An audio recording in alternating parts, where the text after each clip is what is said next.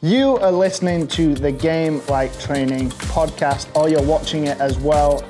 And in this show, what we do is bring you information and education on golf practice, golf learning, golf psychology, and more things golf. What we're trying to do with this show is share with you evidence, research, and proven strategies that can help your golf practice or that can help your golf coaching.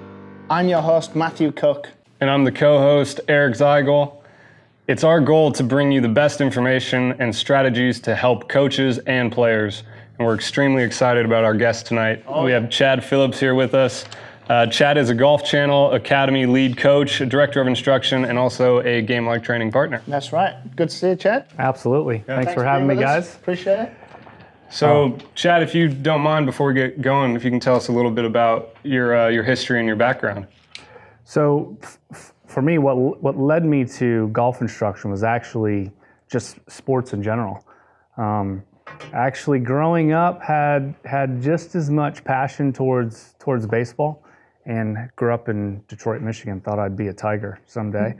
um, but after doing a little bit of travel ball, and I, I ended, I, st- I stopped playing baseball my sophomore year of high school, and um, just I would say size was an issue. Um, ran up against some big boys, and so golf and, and baseball were running parallel. I decided to take on golf. Ended up playing college golf, turned professional after that. Got my head kicked in trying to make money playing, like a lot of players, and. Um, and and defaulted really into coaching. So I didn't grow up going, I'm going to be a golf coach someday.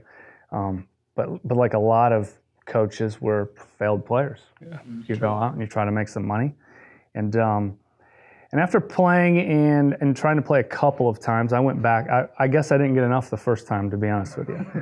I was 20. I had already started teaching a lot, but by 26 or 7, and I was teaching to really fund that.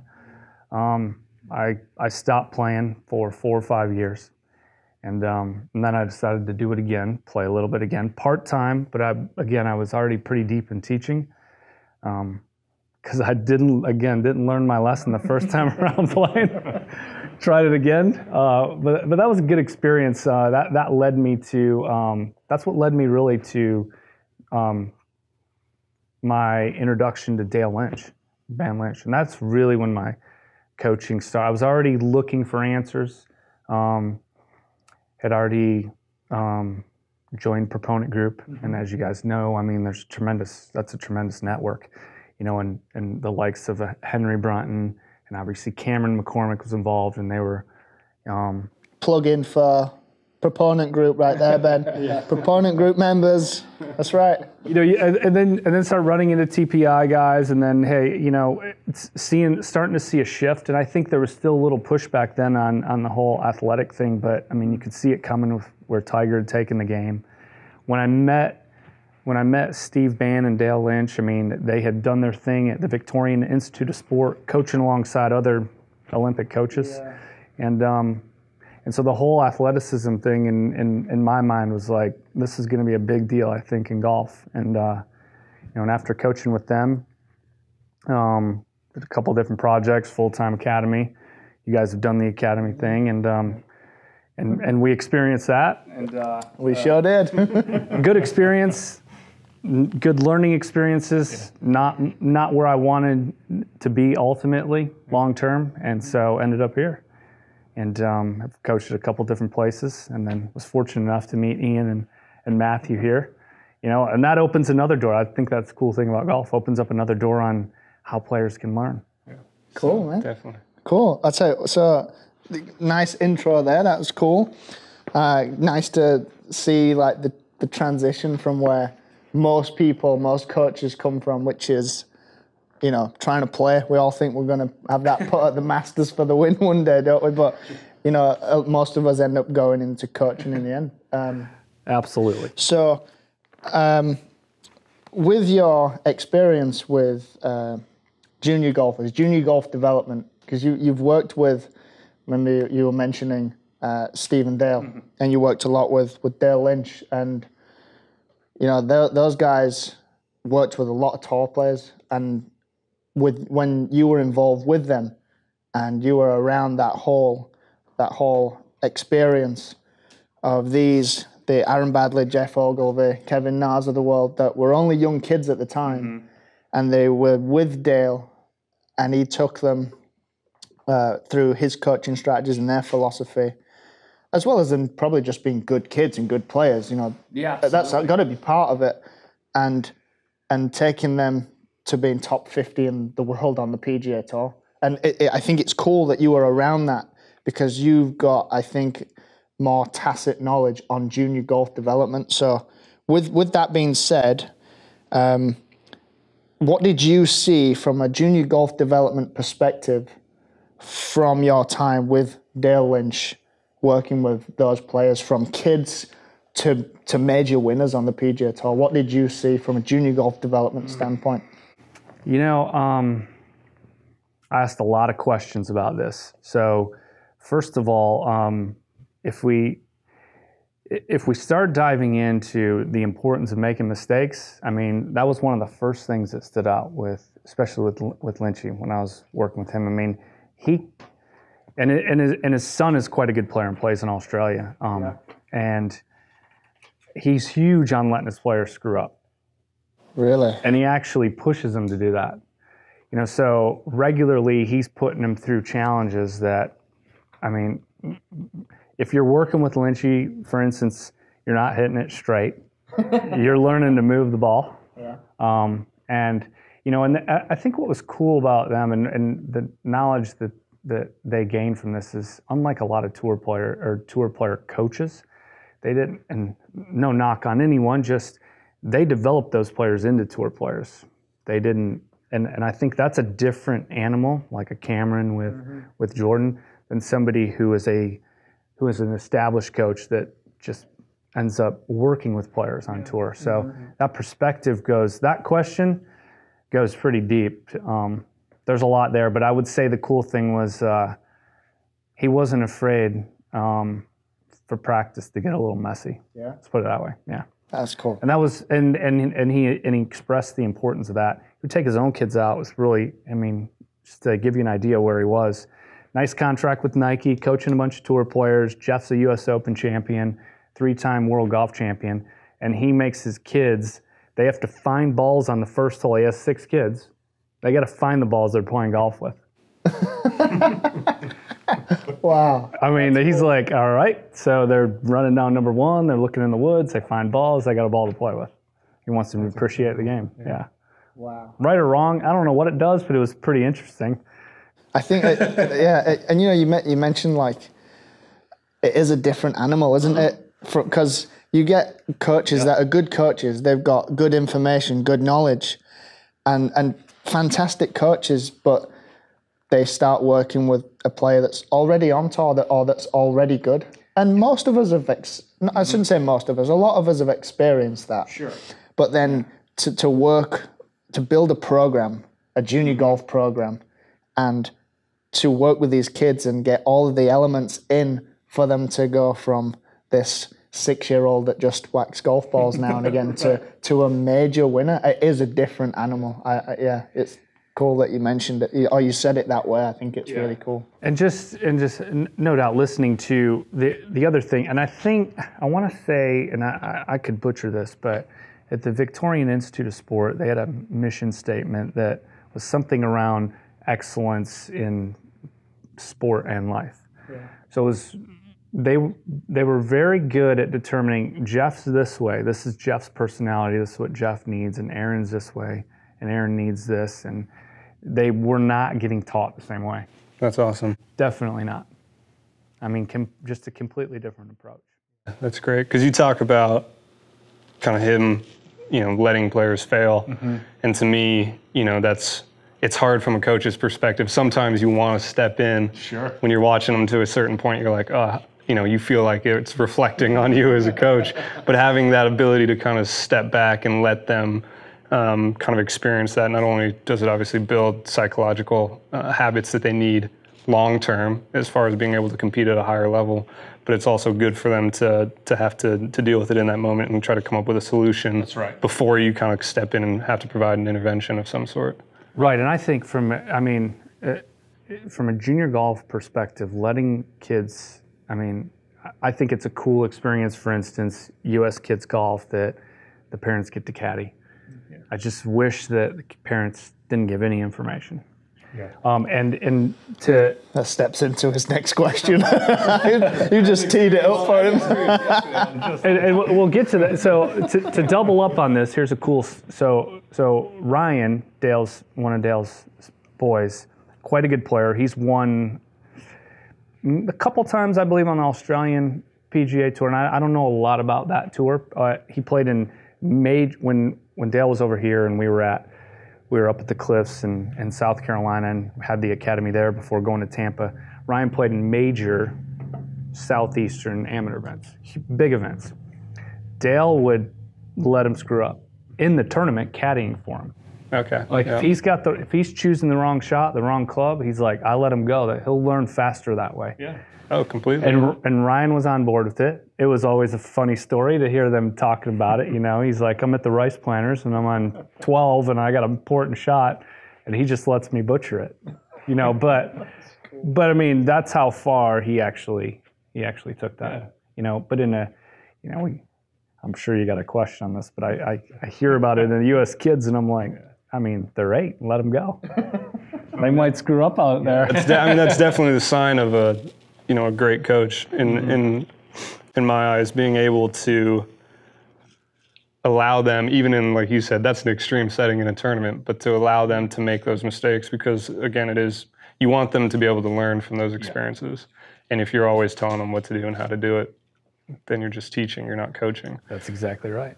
But that, yeah, that teed up perfectly into my next question. So, parent involvement. It's obviously there's a lot of research and and stuff behind the importance of, you know, parents in junior development and their influence over um, just golfers or their their kids in general.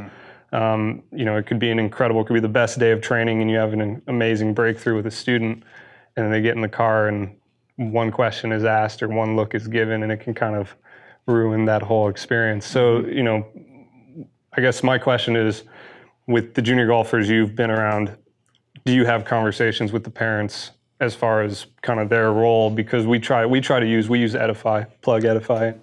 Edufii plug.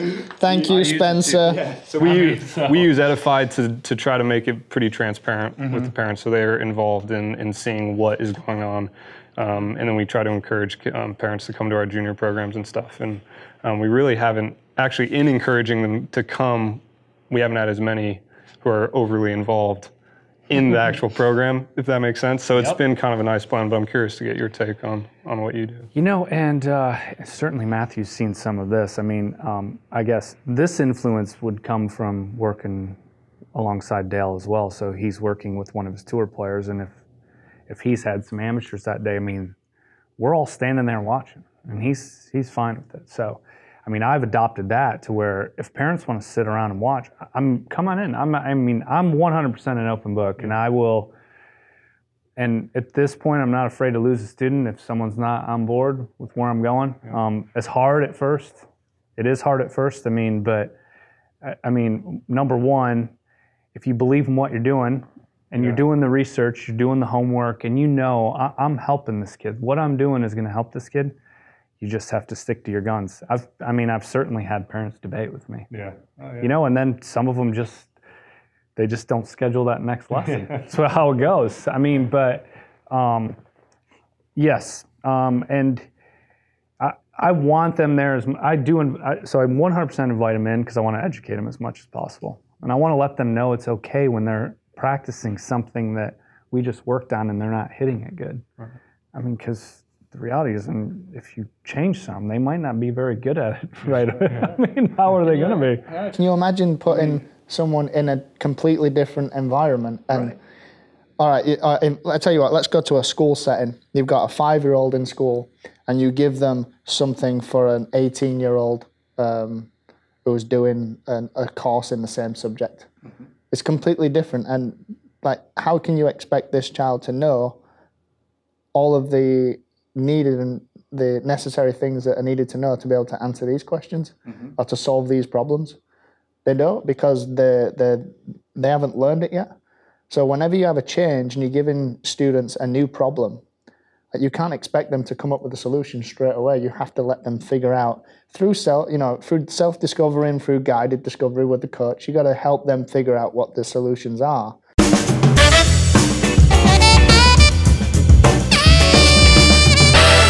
Guys, hope you're enjoying the podcast so far. This is a segment we like to call Game of the Week, and this week's Game of the Week is Par 18. Par 18 is a short game challenge uh, designed to help you get up and down more often. So you can do this on the golf course or on the practice facility. The choice is yours. But this is what you're going to do. You're going to set up nine different stations around the green, one all the way through nine. Try to make them different. Make sure the locations are not exactly the same.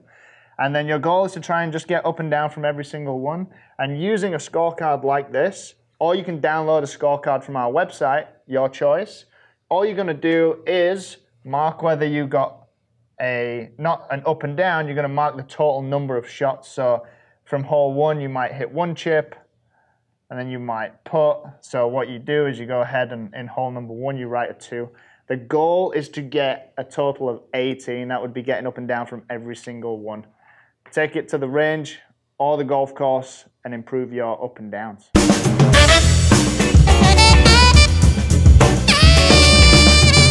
do you think? Is probably in your own philosophy, but what do you think are maybe three to five elements or key things that should be in your program or, or in whatever you do to develop junior golfers? Um, good question. Three to five. Well, I mean, I don't know if I'd stop at three or five, but You could you could. Just but I, but I would say yeah, definitely. Um, and as far and and and so I'll start with as far as philosophy. My philosophy is constantly changing. That's the one. That's definitely happening. Um, you know, I think through. I did I did some of. Hank Haney had a training program, and I did all the levels available when Tiger was working with him because I mean that was it. If, You know, it was if you swing it like Tiger, you're going to be really good. But it didn't work out that way.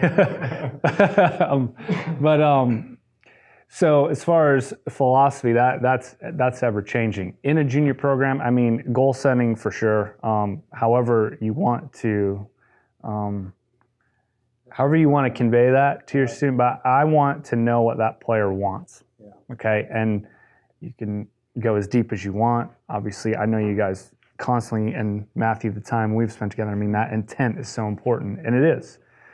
And I and I believe that the more you do this, the better you get at seeing it. I mean, it's like this player's intent is here, and it's pretty quick. You can see it. So, but and then finding out what are their goals, where do they want to be. So I think that's important. Some kind of session on that. Um, athleticism, however you want to go about that. I mean, I truly want an athlete now. I mean, and if I can get them when they're young to actually go away and play some other sports, I'm all for it. I was going to ask a question about that.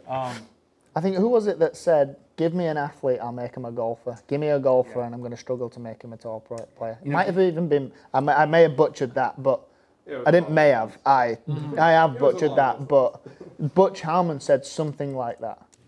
You know, getting yeah. I mean, and I mean certainly you can get to a point where you have a, a tagline of some sort that is 100% that you're going to be teaching an athlete to play golf. I mean, that's definitely what it's becoming. If you watch golf now, I mean, that's definitely what it is. There are. There's a, a lot of athletes out there. Those are major athletes, and then definitely Tiger moved. He he he created that shift. He moved the needle there. No one was ready for what he actually brought.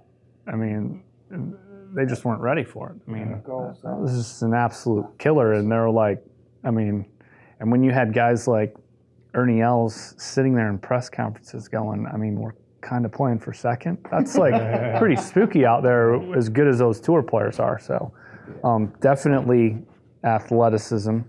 Um, so if you're setting goals and then your your athletic athleticism's in there, um, you have to put in the fun factor for sure. Um, and I, I guess you'd be wrapping everything up. So on course, on course instruction and and that would be three big ones, and wrapping all that up into a fun environment, which is different for for everyone. You know, I mean, I mean, most kids when they're younger, the f- I think the fun is very similar, but as they get older, what's fun changes. I could not agree more. I yeah. Um, when they get into so we look at like the different phases of when they're participating. When they're really young, fun's like fun to them is running around and like throwing a golf ball. but then when it gets when they get to that stage where they're like, you know what, I want to get good at this now. Fun changes into like, all right, what's fun is for me to stay out here and really try and score 100 points on this challenge. Like, for the, the- I, I, I think that's incredible. Well, that's you can Fun. even just the the vocabulary you use. You know, with little kids, you call them games. We're gonna play a game today, and it, it could be the same game, but with a kid that wants to be take it a little bit more intense, you call it a challenge. Right. Right. So it like it can be a similar training model or training philosophy, and just the way you kind of tailor the language. Um, you know, you can call it a test. You, you can just change that as well. So you got goal setting, athleticism on the course, and making sure that Yeah. if we if we're going, I'm going to put fun in there for the fourth one, but knowing that fun's different. The type of fun is different for Yeah. the type of golfer you're working with. Yeah, and, and, you know, and then there's obviously so many layers. If you get into golf, I mean, the actual golf part of me that would be, I mean, I'm big on on learning shots. I just I've had a lot of success if I can teach kids when they're young to hit golf shots. They don't have to go out and play and shape it around the golf course. I mean, that's not what I'm, you know, hitting low draws into back left pins and but I want them to practice like that. So teaching them shots, one, that's fun. Um, but I think it's, I mean, inc- incredibly helpful in their development and learning to just control the movement of the club. So like uh, So an example. Can you give us an example of uh, of using uh, learning shots, like using that for someone who's watching, whether you're a golfer or uh, whether you're just a player or a coach or a parent or wha- whatever you are. Um, could you give someone like an example of using learning shots to help their development? Um, Like if you've got a, a, a ki- you're working with a student right now, they're doing something, and you're like, all right, I think this type of shot might. So I'm always trying to. th- This this can go in a lot of different directions. All right, so I'm always trying. I'm always trying to. I'm always trying to get to a golf shot. Um, that and again, that'd just be my language. But I'm trying to get away from the technique and into a golf shot. That doesn't mean I don't care about technique. Believe me, I do. But if I can get a player to make a movement pattern change, all right, just change their motion um, and and I can do it with a golf shot, I'm I'm going there, and I want to get there as quick as as possible. Okay, so um, I mean a lame, a really lame example would be if someone's if someone hits down a bunch, we know the ball is going to come out low, so I'm going to get them to learn to hit high shots. However, I have to do that. Okay, so that's one shot. All right, is a high shot. Just to work on maybe in a more effective, more advantageous like attack angle. So then if you're getting on TrackMan, and then I'm using the numbers for sort of mini goal settings for them that, hey, let's see if we can get it this high, this high, and they see that number come up and and then and that's one example of using it. This goes again in a lot of different directions. Um, just general development. If I get a player that can shape it and hit it high and low, I want that done regularly. Because for me, it's just my students. It's tend to keep things pretty neutral. Mm-hmm. Um, I'll do I'll use shot shaping on the golf course when someone's really struggling to feel where the face is pointing. Mm-hmm. We'll practice some trouble shots out on the golf course. So it's just big, right? It's like, all right, we're gonna hit a fade, but you got to hit a massive one. So if you can't feel that face being open, then we need to sit down. no, I mean, you, you get out there. If they got to hit a big curveball, they're gonna feel something different than what's normal. and you're doing it in context as mm-hmm. well. Like I think that's that that's a big key is that if we can that what, what I- the what I love about this is that you mentioned on course. Well, I love all of it to be honest, but on course and learning shots really marry up, don't they? Because like you, if you can put a student in the context of uh, what they're going to be faced with when they go and play in a tournament or when they go and play regularly, if you can make the environment represent what they're going to be faced with later, which on the golf course is as close as you can get because that's where they play, then you know you, you make that change. Essentially, you make that change stick Yeah. quicker. One last question. Uh, I should have asked this earlier when we are on it, but uh, what was the coolest thing? You've told us one really cool. Well, you've told us a bunch of cool stuff, but one thing that stood out a lot with, with Dale Lynch, what he did with the kids on the on on the first tee. They had to go get they had to go get golf balls. I think that's pretty cool. We got to do we got to try and do that at the, at the academy. But what what's one thing that you saw that really stood out that Dale did with the likes of Aaron Baddeley, Geoff Ogilvy, and, and Kevin Arn and those guys? What's what's one thing that really stood out to you that he did as a golf coach to them players? You know, he told this story. It's one of the coolest stories I've ever heard, and it, and it, and he's actually running a junior golf program now with this guy, who was a tour player named Craig Spence, and um, and I probably I apologize to Lynch if I messed this up because the story was fantastic, but um, Spence had he, Craig Spence had um, some he, great player playing in like I want to say the Australian Masters. Yeah. Okay, big event, and very good player. Else you're not there, and really struggling with his nerves. He got into the event. He's worried. His family's coming. He's stressed out. He's telling Dale, "I can't do it. I cannot play. I can't go out there and play. I'm gonna. I, I just can't do it. I'm nervous. I'm not going to be able to perform. And he's like, You're fine. It's you, your caddy. You walk inside the ropes, put your sunglasses on, and play golf. So he goes out, he plays, he's like first round leader. So now he's like completely freaking out. So essentially, this goes on and on and on through all three rounds. All right. Where he finishes, he's playing well, he makes the cut, he's close to the lead. He's like, I cannot do this, Dale. I can't play tomorrow. He's wanting to withdraw, literally. So um, he said after the uh, third round, they're all going to go out to dinner, and he's like tied for the lead or close to, within one of the lead, either leading one back, all right, of like Norman, okay, Greg Norman. They can't find him. Dale goes in the locker room. He's there, and he's like, "I cannot play tomorrow." it's like there's no way I can play tomorrow. So the same story. And Lynch, he's like, "You know what?" He's like, "I just I can't go out there. I'm going to play terrible." He goes, "You know what? You have no chance tomorrow." He goes, You're playing against Norman.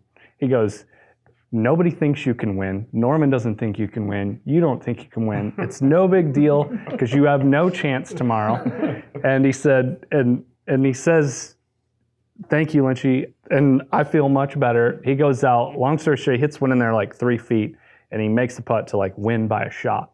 okay. Really? Right. Dale's like, I just went the opposite direction of sports psychology because he was freaking out. He didn't want to hear that he was good enough. He just he just needed something to take the, the pressure off. And um, and the story's much better when he tells it. But he said, um, but he said he literally had to talk him down. And f- finally, to get him to calm down that day, he just told him he has no chance. You don't think so? And so I mean, thinking outside the box. You know. That was one, that's, that's, incredible. one way to Yeah, think that's a great story. because he's like, I mean, all the time. Sometimes that's not what people want to hear. Is that hey, you can. Uh, I mean, I think at times when you're, you know, that that would be the whole. If you you know praising children and kids, what you can learn from that. I mean, you can lay so many expectations on them that it's they struggle to perform. So I think there, what happened was he took all expectations off of them. Removed it all. It's like just go put your sunglasses on. It's you, your caddy, play some golf. So that was a, that was a cool story. So. Well, I think I think we're just about out of time. You got you want it? Yeah, no, that was That was awesome.